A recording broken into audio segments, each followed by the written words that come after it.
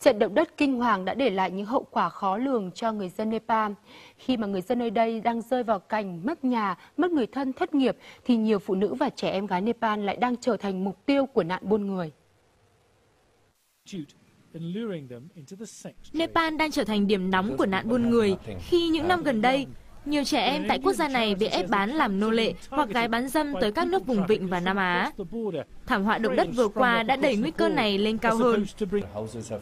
Thời gian qua, có rất nhiều người tới các khu trại ở tạm ở Pattabu, Kokha và ngoại ô Kathmandu, giả danh làm công tác từ thiện và hứa hẹn cho các em gái công an việc làm. Chúng tôi lo sợ rằng các em này sẽ là nạn nhân của những đường dây buôn bán người. Trước đó, lực lượng biên phòng Ấn Độ đã kịp thời giải cứu 4 trẻ em bị bắt cóc tại một thị trấn biên giới.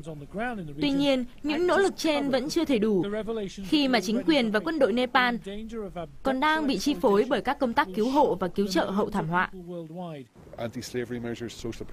Hiện giờ chúng tôi chỉ có thể yêu cầu chính phủ Ấn Độ phối hợp tuần tra tại biên giới Ấn Độ và Nepal với hy vọng phần nào ngăn chặn được những đường dây buôn người. Các tổ chức cứu trợ quốc tế hiện đang lo ngại vấn nạn này sẽ càng trầm trọng hơn trong thời gian tới, khi người dân Nepal vẫn còn rất nhiều việc phải làm để tái xây dựng cuộc sống.